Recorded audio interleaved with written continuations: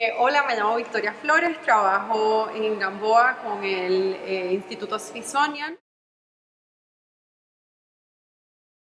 Pues en las noches de murciélagos en Gamboa ponemos redes de niebla, capturamos murciélagos y depende de qué especies capturamos pueden ver eh, murciélagos en su hábitat natural y además les hablamos de cómo nosotros estudiamos los murciélagos en el Smithsonian, les enseñamos eh, los materiales que usamos y dónde eh, trabajamos con ellos. La noche de murciélagos de Gamboa son el primer domingo de cada mes, de 7 de la noche hasta las 8, 8 y media.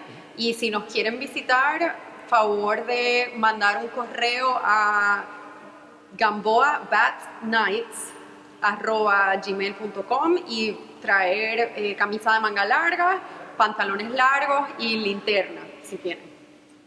Eh, la noche es gratuita, no hay costo y... Em, ¿Cuál fue la última pregunta? Ah.